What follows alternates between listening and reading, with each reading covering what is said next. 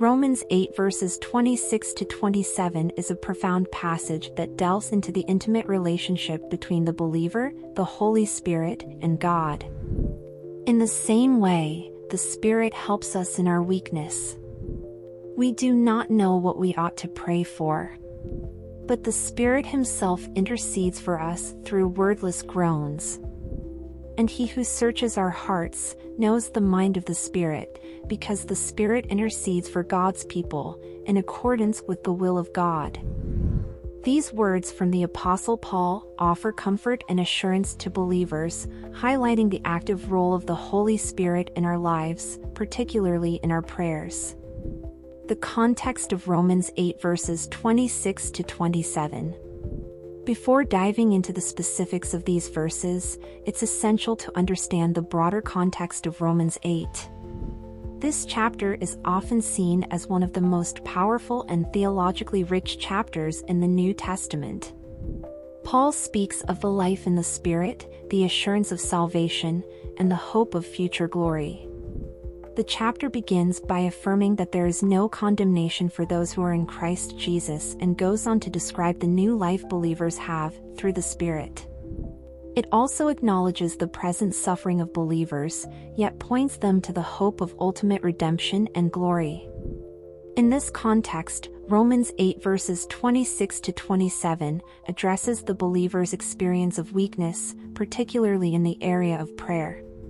Paul acknowledges that believers often find themselves at a loss for words or unsure of how to pray, especially in times of trial or suffering. It is in these moments of vulnerability and weakness that the Holy Spirit steps in, offering help in a deeply personal and profound way. The Spirit's help in our weakness. Paul's statement, the Spirit helps us in our weakness, is a source of great comfort. The word helps, in this verse, is translated from the Greek word synantilambanomai, which implies coming alongside to assist. This is not a distant or passive form of help, it is active and engaged. The Holy Spirit doesn't just observe our struggles from afar but comes alongside us, sharing in our burdens and providing the support we need. This help is particularly relevant in the context of prayer. Paul acknowledges a universal human experience. We do not know what we ought to pray for. This admission of uncertainty resonates with many believers. There are times when the complexities of life, the depth of our pain, or the confusion of our circumstances render us speechless before God. We may know that we need to pray, but the words simply won't come. It's in these moments of weakness and uncertainty that the Holy Spirit intervenes. The Spirit's intercession through wordless groans. Paul goes on to describe the nature of the Spirit's intercession. The Spirit Himself intercedes for us through wordless groans. This is a profound and mysterious statement.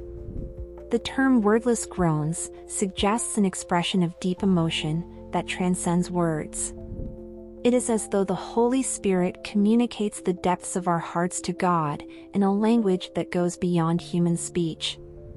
These groans are not just an expression of pain or despair, they are the Spirit's way of articulating our needs in a manner that aligns perfectly with God's will. The Holy Spirit, who dwells within us, knows our hearts intimately and understands our deepest longings and desires, even when we ourselves cannot fully comprehend them.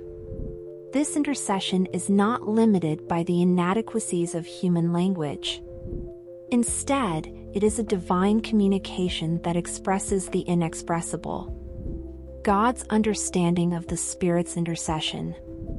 In verse 27, Paul writes, And he who searches our hearts knows the mind of the Spirit, because the Spirit intercedes for God's people in accordance with the will of God.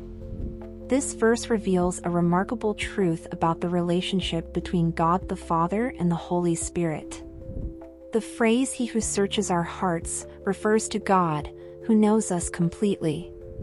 There is nothing hidden from God, He sees and understands the depths of our being. What is particularly striking is that God knows the mind of the Spirit. This speaks to the perfect unity and harmony within the Trinity. The Spirit's intercession is fully understood and accepted by God because it is in perfect alignment with His will. This means that when the Spirit intercedes for us, we can have complete confidence that our prayers are being presented to God in the most perfect and effective way possible.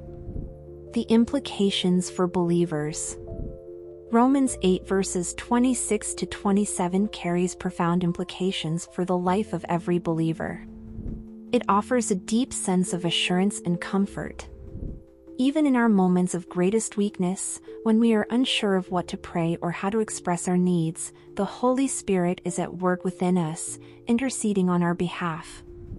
This means that our prayers are never in vain or ineffective, even when they feel inadequate. The Spirit's intercession ensures that our prayers reach the throne of God, perfectly attuned to His will.